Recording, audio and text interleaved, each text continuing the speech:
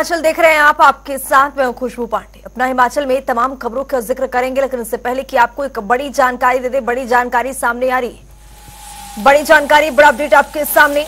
शिमला के रोहड़ू में नेता प्रतिपक्ष का दौरा है। शिमला के रोहड़ू में आज पहुँचेंगे नेता प्रतिपक्ष। रोहड़ू में पन्ना प्रमुख सम्मेलन आयोजित किया जाएगा। जयराम ठाकुर कार्यक्रम में मौजूद रहेंगे, ये बड़ी जानकारी से आपको रूबरू करा रहे पन्ना प्रमुख सम्मेलन को संबोधित करते नज़र आएँगे।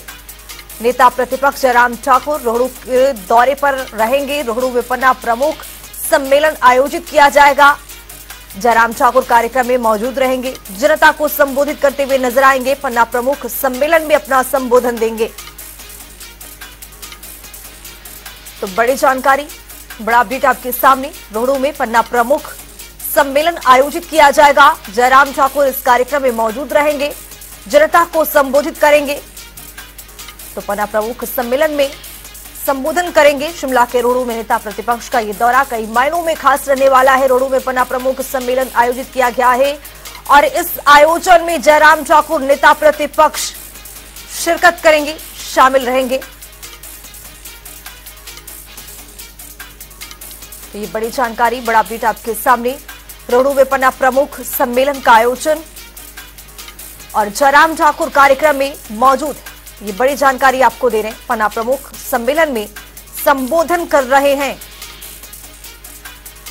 तो नेता प्रतिपक्ष का रोहडू दौरा कई मायनों में खास रहने वाला है। रोहडू में पन्ना प्रमुख सम्मेलन आयोजित किया गया है। जयराम ठाकुर कार्यक्रम में मौजूद हैं।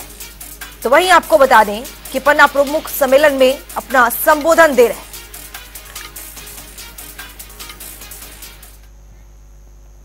खबरों में आगे बढ़ेंगे। बीजेपी प्रत्याशी कंगना रनावत रामपुर क्षेत्र के दौरे पर रही। इस दौरान उन्होंने ननखड़ी क्षेत्र में जनसभा को संबोधित किया है। वहीं उन्होंने पूर्व मुख्यमंत्री वीरभद्र सिंह को याद किया है। उन्होंने कहा है कि अगर आज वीरभद्र सिंह जी के ज़िंदा होते तो उनका दिल भी ऐसे अपशब्द कह जाने पर बहुत दुखी होता। परम पूजनीय वीरभद्र जी होते तो उनका दिल कितना दुखता कि हमारी बेटी को कहा कि वो अपवित्र है और वो निश्चय ही टीका जी को डांट लगाते और बोलते कि तू तो अपनी बहन से माफ़ी मांग, लेकिन आज उनको ऐसा बोलने वाला, उनको समझाने वाला कोई नहीं है। कोई बात नहीं, हम उन्हें क्षमा कर देते हैं, लेकिन दोस्तों, इस भाव में आकर हम उन्हें सत्ता तो नहीं दे सकते, उन्हें क्षमा तो मिल सकती है, मगर सत्ता नहीं मिल सकती दोस्तों। ये बिगड़े हुए शहजादे, चाहे राहुल गांधी हो, चाहे अखिलेश यादव हो, चाहे टीका हो इन बिगड़े हुए शहजादों को जो है, अपने माता पिता की संपत्ति ही संभालनी चाहिए। देश जो है, जैसे हमारे नरेंद्र मोदी जी, एक गरीब माता के बेटे, जो गरीबी में उन्होंने पले बड़े हैं, उनकी माता बर्तन धोकर और कपड़े धोकर दूसरे लोगों के घरों में सफ़ाई कर करके उन्होंने अपनी संतान को पाला है।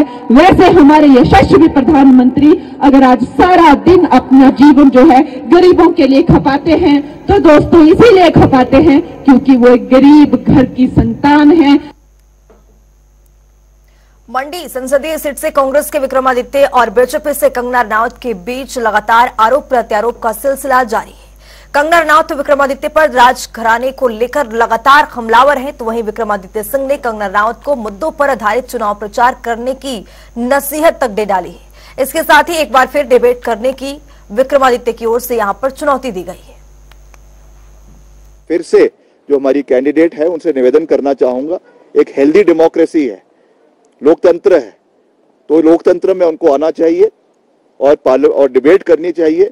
ताकि जनता को यह पता चले कि भाजपा के प्रत्याशी का क्या विजन है, कांग्रेस के प्रत्याशी का क्या विजन है, क्योंकि जहाँ पर भी वो जाती हैं, उनका एक ही एजेंडा है। मोदी जाप करती रहती है। सुबह से शाम तक मोदी मोदी मोदी मोदी मोदी मोदी। मैं समझता हूँ, ठीक है, प्रधानमंत्री जी, प्रधानमंत्री है, उनका हम पूरा मान सम्मान करते हैं बट कम से कम आप अपना एक विजन तो रखें। Other than what you are you are dependent entirely on the prime minister आप खुलकर आप क्लेम करती हैं कि आपने पूरा दुनिया देखा है, आपने पूरा विश्व देखा है, आप एक बहुत बड़ी एक्ट्रेस है तो आप आइए और अपना विजन रखिए कि क्या विजन आपका मंडी संसदीय क्षेत्र के लिए है, क्या आप करना चाहती हैं, उसका एक पूरा चिट्ठा लोगों के समक्ष रखें। मैं समझता हूँ कि उस चीज़ को लोग अप्रिशिएट करेंगे यूथ अप्रिशिएट करेगा। बीजेपी के राष्ट्रीय उपाध्यक्ष सौदान सिंह हिमाचल प्रदेश के दौरे पर हैं। इस दौरान उन्होंने ऊना जिला के खरौली क्षेत्र में बीजेपी कार्यकर्ताओं के साथ बैठक की। वहीं उन्होंने कार्यकर्ताओं के साथ लोकसभा चुनाव को लेकर रणनीति भी तैयार की है।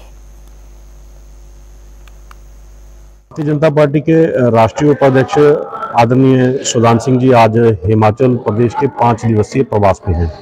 आज इस कड़ी में इन्होंने ऊना जिला के दो मंडलों में कार्यकर्ताओं के मंडल स्तर के कार्यकर्ताओं से बैठक की है। और हेतु स्पष्ट है, अब की बार 400 पार और हिमाचल प्रदेश में नौ की नौ।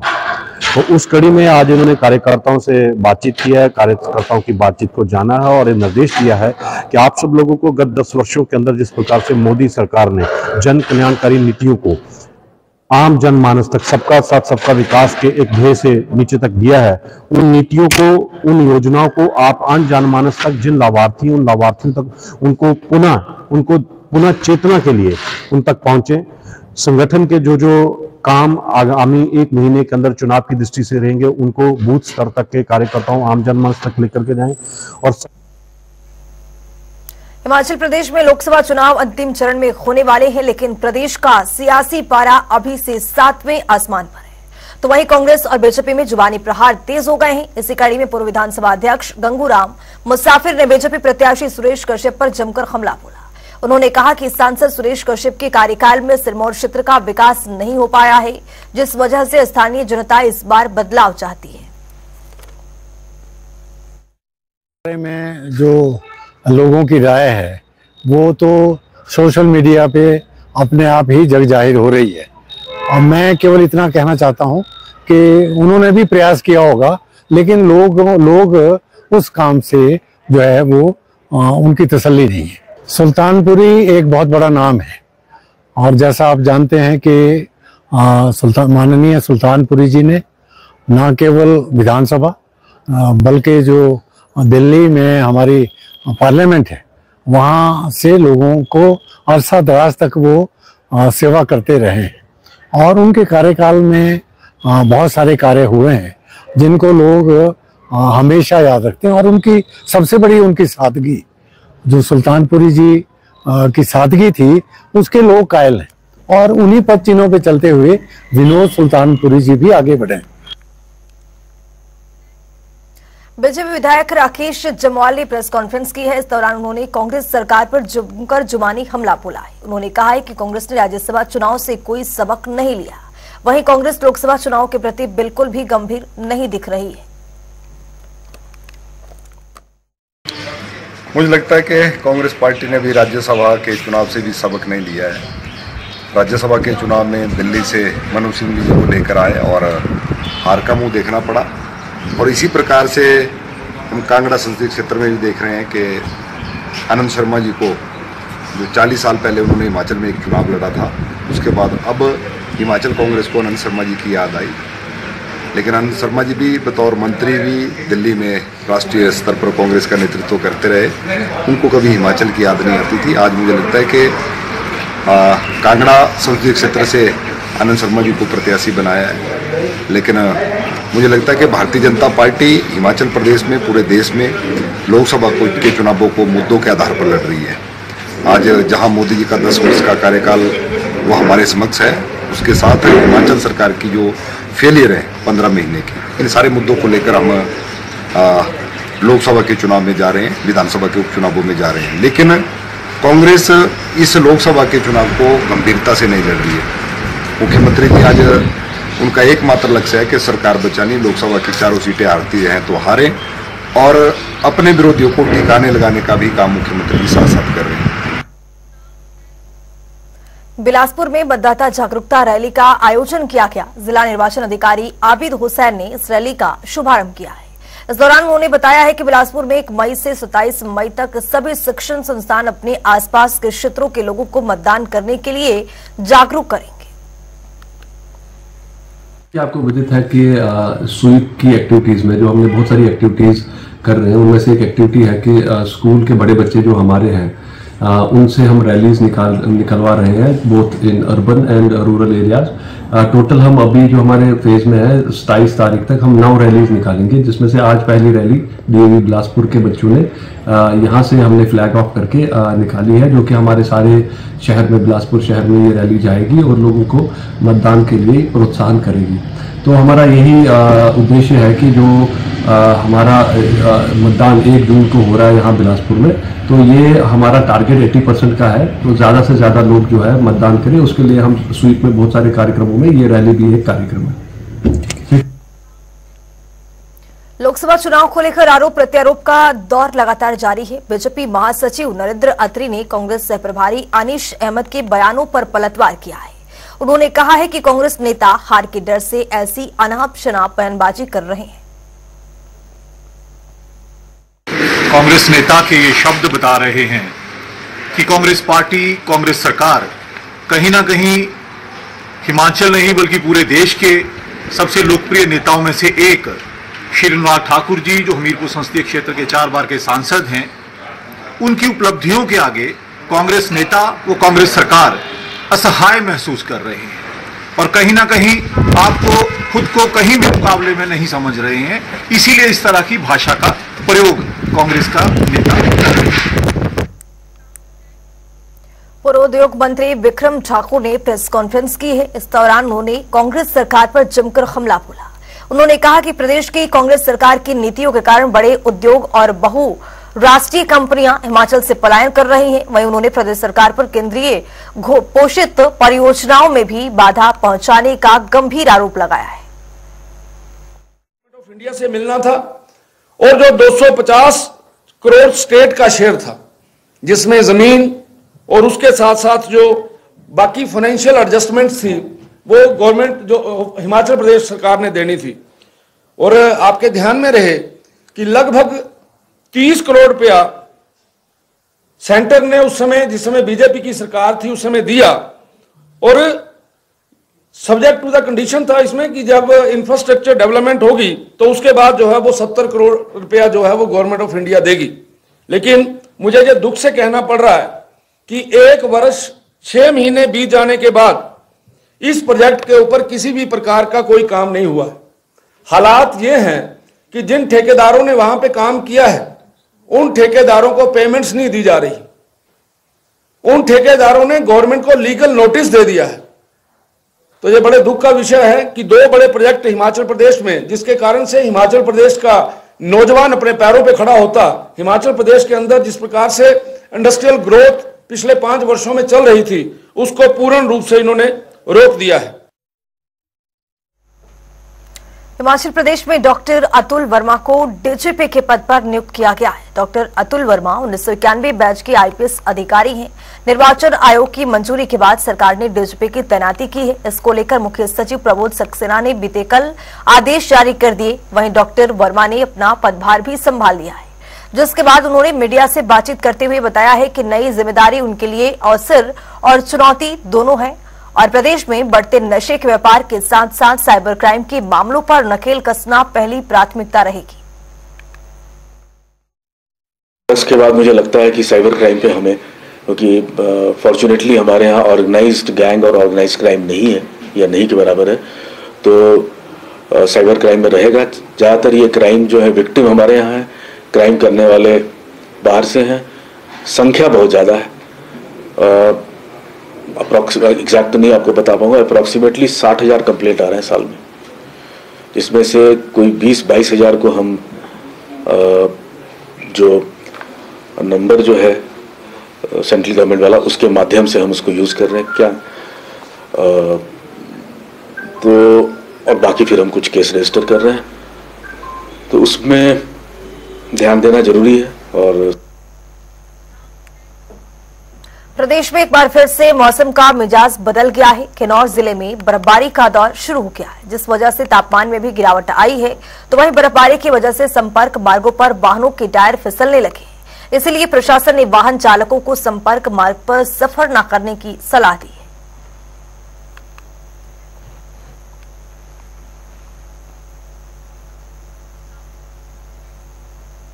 बिलासपुर में वन विभाग फायर सीज़न की तैयारी में जुट चुका है, क्योंकि गर्मी आते ही कई शरारती लोग जगह जगह जंगलों को आग लगा देते हैं। इसलिए वनों के बचाव के लिए विभाग की ओर से स्पेशल टास्क फोर्स की रूपरेखा तैयार की जा चुकी है, जिससे वनों को जलने से रोका जा सके।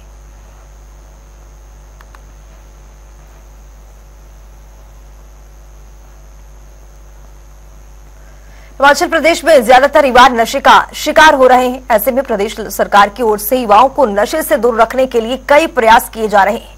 कुल्लू जिला में भी केंद्रीय स्वास्थ्य मंत्रालय की ओर से डी एडिकेशन सेंटर का संचालन किया जा रहा है, जिससे यहाँ पर आकर नशे से पीड़ित युवा अपनी नशे की लत को छोड़ने का प्रयास करते हैं।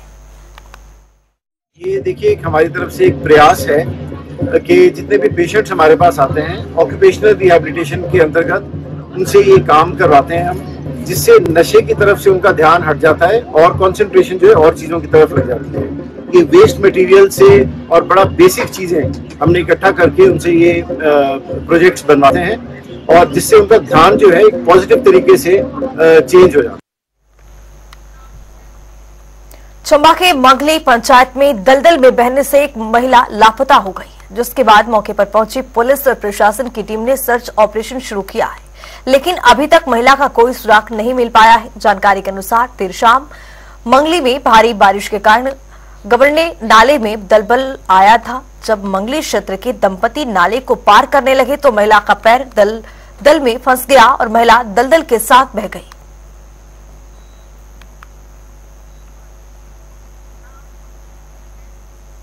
कांगड़ा घाटी रेल मार्ग पर जल्द ट्रेन संचालन की शुरुआत की जाएगी। रेल विभाग ने नूरपुर से कोपलखाड़ तक रेल ट्रैक पर दूसरे चरण का ट्रायल किया है। साथ ही स्थानीय लोगों में भी जल्द रेल सेवा शुरू होने की उम्मीद है। तो वही तकनीकी और इंजीनियरिंग विभाग दूसरे चरण के ट्रायल की रिपोर्ट रेलवे बोर्ड को सौंपेगा। उसके बाद नूरपुर रोड से बैजनाथ तक रेल बहाली को हरी झंडी मिलेगी। चला है कि ये एक ट्रायल हो चुका है इंजन का। और दूसरा जो आज ट्रेन है दो डिब्बों के साथ यहाँ, फिर से ट्रायल कर रही है और उम्मीद है कि ये जल्द ही ट्रेनें शुरू हो जाएँगी। मैं रेलवे मंडल फिरोजपुर से भी ये दरख्वास्त करूँगा, प्रधानमंत्री महोदय से भी और रेल मंत्री से भी, कि जो चक्के का पुल है, इसे इतना लंबा टाइम ना लिया जाए, इसको जल्द पूरा किया जाए। एचआरटीसी डीडीएम कार्यालय में सम्मान समारोह का आयोजन हुआ। इस कार्यक्रम में डिपो में बेहतर काम करने वाले कर्मचारियों को नवाजा गया। वहीं हमीरपुर के कंडक्टर ड्राइवर और वर्कशॉप स्टाफ को कैश प्राइज और प्रसिद्ध पत्र देकर यहाँ पर सम्मानित भी किया गया है।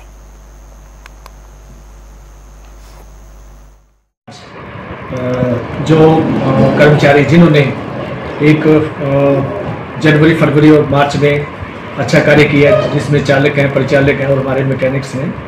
उसको प्रशस्ति पत्र तथा कैश वार्ड पाँच सौ रुपया मेरे पर्सन दिया है।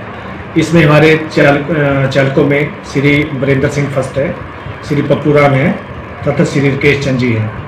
इन्होंने अपनी गाड़ियों का रख रखाव बहुत अच्छा रखा, तथा डीजल की एवरेज भी बड़ी अच्छी दी है, और पब्लिक के साथ भी इनकी डीलिंग बहुत अच्छी रही है। उस आधार पे चालकों को हमने छांटा है। तथा परिचालकों में अनिल कुमार फोर्थ नरोत्तम दत्त और रिम्पी इनकी जहाँ जिस दूर पे गए हैं, इनकी अच्छी ई पी एम रही है, उसके आधार पे इनको हमने सम्मानित किया है। तथा ऐसे मैकेनिक्स मैकेनिकल स्टाफ से भी श्री अशोक कुमार फीटर है और सिद्धार्थ जेटी है। इनको हमने तीन महीने का आंकलन करके, इनके कार्य का आंकलन करके इनको प्रशस्ति पत्र और कैश वार्ड पाँच सौ रुपये पर पर्सन दिया है। धर्मशाला के गगल क्षेत्र में हिट एंड रन का मामला सामने आया है। इस हादसे में दो युवक की मौत हो गई है। एसपी शालिनी अग्निहोत्री ने मामले की जानकारी देते हुए बताया कि इस घटना की सूचना मिलते ही पुलिस ने फरार टैक्सी चालक का पीछा किया और आरोपी को मंडी से डिटेन किया है, जिसे वापस कांगड़ा लाया जा रहा है। वहीं पुलिस ने आरोपी के खिलाफ मामला दर्ज कर आगामी कार्यवाही शुरू कर दी है। एक देर रात जो है, एक अनफॉर्चुनेट इंसिडेंट में दो लोग जो हैं एक एक्सीडेंट में गग्गल पुलिस स्टेशन के पास में जो है उनको ऑन द स्पॉट उनकी डेथ हो गई, जिनमें सौरभ गग्गल के रहने वाले और शुभम बनोई यहाँ के रहने वाले। और इसमें जो है ये हिट एंड रन का मामला सामने आया, जिसमें जो गाड़ी है वो मौके से फरार हो गई थी, जिसको पुलिस की टीम्स द्वारा जो है फॉलो करते हुए मंडी में डिटेन किया गया और अभी उसको वापस जो है कांगड़ा लाया जा रहा है। तो इसमें ये पंजाब की गाड़ी का पता चला है और फर्दर इसमें इन्वेस्टिगेशन पुलिस टीम गग्गल द्वारा आगे बढ़ाई जा रही है। तो अपना हिमाचल में मेरे साथ इतना ही। देश और दुनिया के तमाम खबरों के लिए बने रहिए जनता टीवी के साथ।